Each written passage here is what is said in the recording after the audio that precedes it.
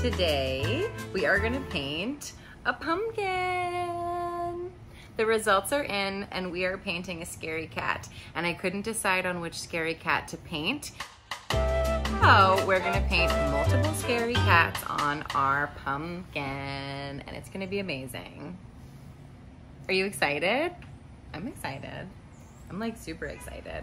It's a rainy day outside. Well, it's not technically raining yet, but it's very cloudy and there's some perspiration in the air. There's there's some perspiration in the air, um, but it's actually quite warm outside. We need to find time for ourselves, and that is what painting this pumpkin is. For me, today is finding the time for myself to be creative and paint this pumpkin. These are my little drawings that I sketched from the internet this one, this one, and this one. This pumpkin, I'm... So, let's get started.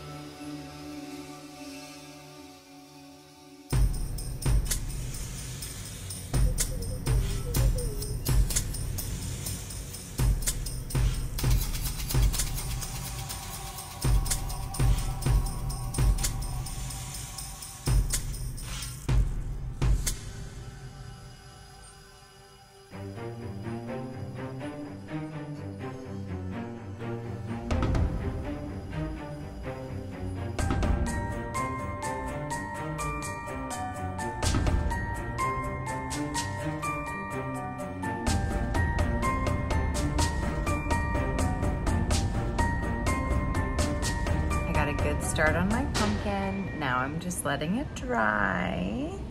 It's not finished yet. Spooky. All right, so we let it dry.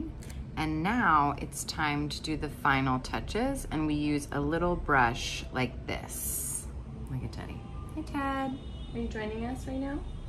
We have the initial cat, scary cat. But in order to get those little tiny curves that we want, we're gonna have to use a brush that's like this.